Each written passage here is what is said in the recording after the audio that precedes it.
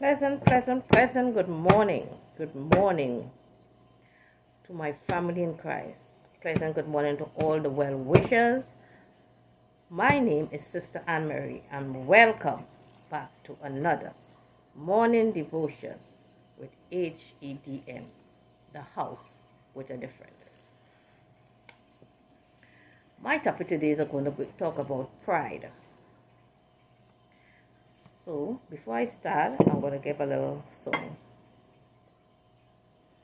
Something deep down inside telling me to go on. Something deep down inside telling me to go on. Something deep down inside telling me to go on, go on, go on.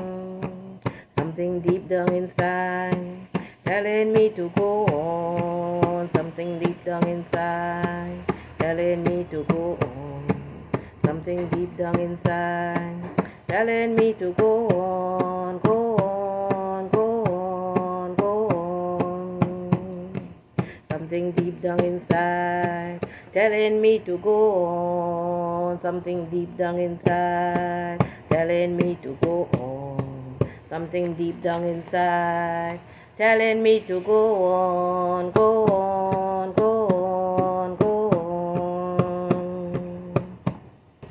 want to see the glory of the Lord? Why don't you praise Him? Lift up your hands and praise Him. You want to see the glory of the Lord? Why don't you lift up your hands and praise the Lord? Praise Him in the morning, Praise Him in the noontime, praise Him in the evening.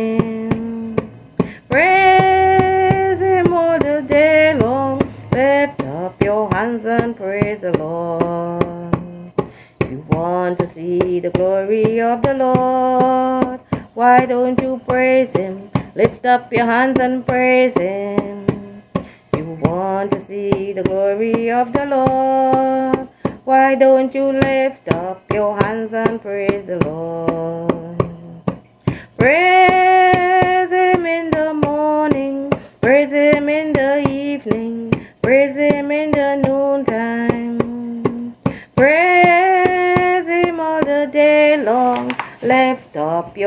and praise the Lord. Heavenly Father, I come before you one more time this morning, dear Father God, thanking you for waking all of all of us up this morning. Thank you, dear Father God, for your many blessings that you show unto us, dear Father God. Thank you, dear Jesus, for health and strength, dear Father God. Thank you for those who go out to work this morning to make it, dear Father God. Father God, I ask that you lead them, dear Father God, and bring them back safe, dear Father God. Cover them, dear Father God, because we know there are dangers looking over them, dear Father God. Father God, I ask that you stretch your hands over them and bless them as they do their endeavors, dear Father God. I want to bless all, dear Father God, the viewers, dear Father God, who listen to us on a daily basis, dear Father God. Father God, I, I hope, dear God, that every word that was said, dear Father God, and that they get a message, dear Father God, and all the message we are trying to teach them, dear Father God, that God is love and God loves them. And God wants us to live in one accord in Almighty name. No other name but in Jesus' Almighty name. Today I'm going to talk about pride. Pride is a quality or a state of being proud, confidence, and satisfaction in oneself, self respect. Pride is the most destructive thing in the world. It makes you feel that you are better than people, you are better than everyone else, and it is a people pleasing. God hates pride. I will say it again. God hates pride. Why do God hate pride? Because pride hinder our relationship with him. Pride makes us feel that we don't need anything from God. We don't need help. We don't need to pray. We don't need His love. We don't need His mercy. Let me encourage you, my family.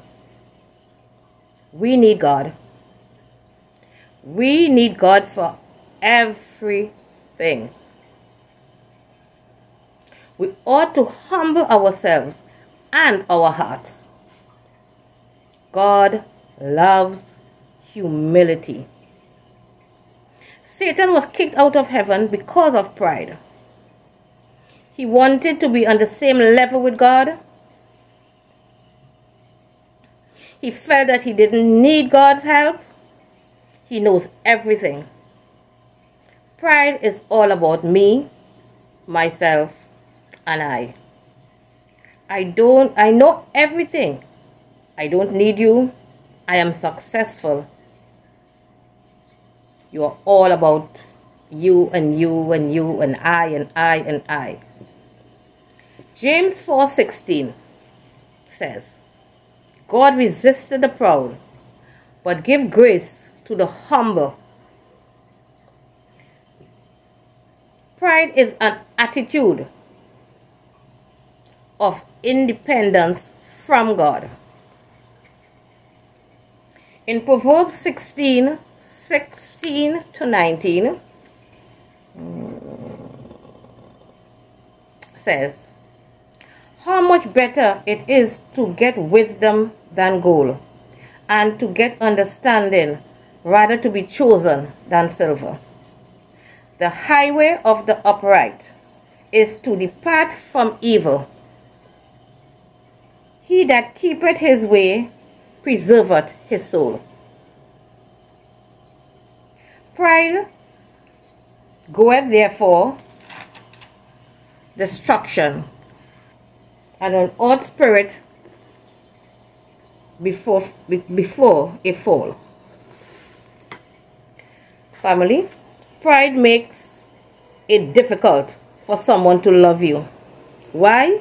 Because you are selfish you are thoughtful, thoughtless in your thinking and in your actions.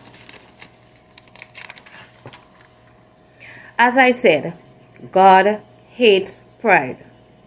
We must learn to hate what God hates and love what God loves.